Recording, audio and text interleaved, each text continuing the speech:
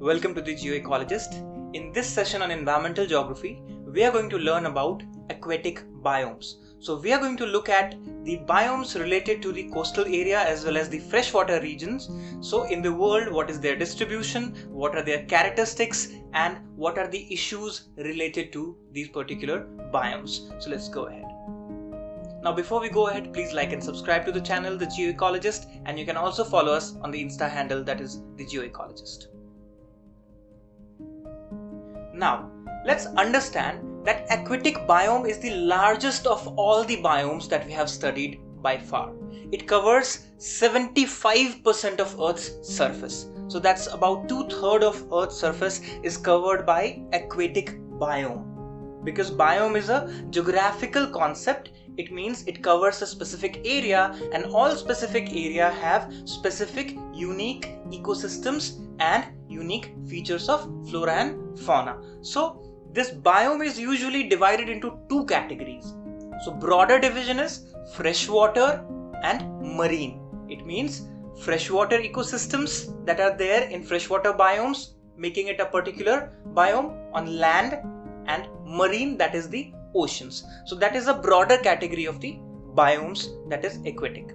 Now, typically, if we understand the freshwater habitats, these are less than even 1%. Remember, they have even less than 1% salt. So basic idea is the difference is the salt content, right? If it is more salt content, then it is not fresh water. It is away from fresh water, right? So marine life, however, has to be adapted to living in a habitat with high concentration of salt. So as we know that oceans have high concentration of salts, so marine life is a habitat where all those plants and animals live in a high concentration of salt. But whereas in freshwater habitats, salt concentration is very less. So freshwater habitats includes ponds, lakes, rivers, streams, while marine habitat include ocean and all those salty marshy areas. Alright, now let's go ahead and understand other characteristics. So first one, the classification of the biome that we saw was broad category. So freshwater biome is the first one. Now we divide it into several other biomes as well. So first we learn about freshwater biome. So its basic characteristic is that it is naturally occurring water on Earth's surface. Okay, so remember, it is the naturally uh, occurring water on where? Not in ocean, on Earth's, on the land surface. That's important. The water of ice sheets, ice caps, glaciers, icebergs. Remember, bogs, ponds, lakes, rivers, stream, groundwater. So many are there. The sources of fresh water, right? But we remember that fresh water has low concentration of salt and other dissolved solid particles in it that's why it is fresh in nature, right? Now, for example, if we look at Lake Baikal, it is the largest freshwater lake by volume in the world. Lake Baikal, remember, containing 22 to 23% of world's fresh surface water. So remember this statistics that is about 22 to 23% of world's fresh water is there itself in Lake Baikal. Now, Plants and algae are important components of freshwater biomes. Remember, plants and algae are one of the major components of this particular biome. So, this biome is important for human beings, us, and our survival as we know it. And because it provides water for our living, that is, drinking and other purposes, and it also is the source of energy for our daily activities. Okay? So even if we understand the composition of human beings body remember two-thirds is water. Or more than two-thirds is just water right? So water in terms of freshwater biome is highly important for human survival. Now examples and characteristic features let's understand. For example ponds and lakes both are stationary bodies okay? So these are static bodies of fresh water. They don't have movement okay? So with ponds being smaller than lakes. So that is the difference. So ponds are smaller in the size okay? Now in the shallow that is sunny waters what happens? Shallow water is where sun penetrates to a particular level. That's what shallow water means. So there is an abundance of life okay and also various fishes. So in deep dark waters what happen? They don't survive. So who survives? The decomposers survive. Okay? So rivers and streams are moving bodies but ponds and lakes are stationary bodies. That is the difference. And they are freshwater bodies and largely made up of runoff from sources such as melting of glaciers or rainwater. That we understand, right? The formation of river. In details, we are going to study the river when we are studying geomorphology. So river and streams usually empty into lake or the ocean. That's how it is connected. So at the beginning what happens, there is fast flowing river or stream and then water is also having more oxygen and it is clear. But gradually on the way what happens? As it moves further, it also picks up debris and other materials and that's why oxygen levels gradually fluctuate or many a times it is less because of the inclusion of many pollutants in it right? So that is what happens with this. Now let's understand the second one in terms of fresh water but a significantly different kind of characteristics. That's why it is freshwater wetlands. So wetlands are little different features so we have categorized it separately to understand it clearly. So wetland is a land area that is saturated with water and it may be permanently or seasonally even saturated with water. So that is important. Now Freshwater wetlands are ecosystems that are affected by permanent or temporary rising of body of water and it's overflowing onto normal dry land. So many times what happens, uh, recharge is there in the season when it is monsoon in terms of Indian context if you see. So there are many wetlands which are seasonal in nature which happen to rise because of the inclusion of waters from the surrounding river. But then again it dries up. So that is one kind of feature that it has. Now, it plays an important role in the regulation of water flow and water quality. And it is also very much important as we know because of the habitation of different specific unique flora and fauna. Okay? So many times migratory birds also come there and many specific unique flora fauna is available. So as we remember for wetlands we have a ramsar convention that is there for the protection and conservation of the wetlands. Now let's understand that marsh, bog, fen, swamp, mire, slough and prairie pothole. These are different types of freshwater wetlands. Okay, these are freshwater wetlands and these are several names in the entire world. If you see, the various places have various kinds of features that are found.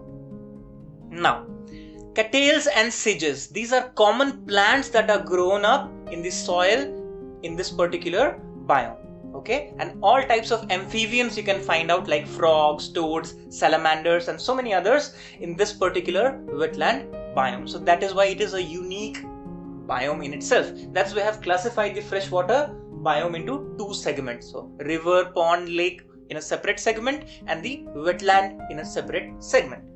Now the third one is the marine biome where we remember maximum salt content is there the oceanic component is there. So let's understand the pacific atlantic indian and arctic the major oceans right? So that's what we have here. And it is one of the biome that helps in life processes regulation on earth okay? The maintenance of earth climate the temperature regulation the precipitation regulation the weather conditions of the place all these are regulated by this particular marine biome the oceanic system right? So it provides rain for crops through evaporation and circulation of air through wave and currents. So that's what we understand that if monsoon doesn't come in India, then what happens? We have a drought situation, isn't it? So, and monsoon is regulated through oceanic circulation that we all know. So that is what the relationship is about the marine biome and its relationship with human beings. Because if we want food security we need our marine resources and marine biome to be in a healthy condition right?